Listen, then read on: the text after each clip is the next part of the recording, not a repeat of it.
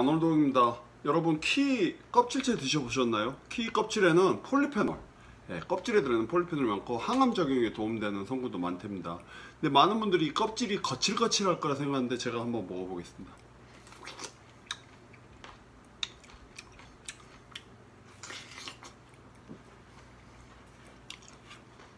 음, 거칠거칠하지 않아요.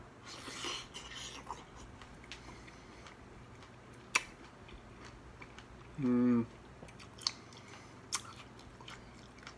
음.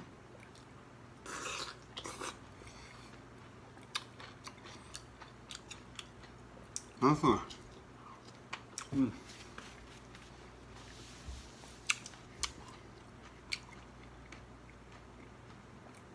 깨끗이 씻어서 드시면 됩니다. 건강에 좋답니다.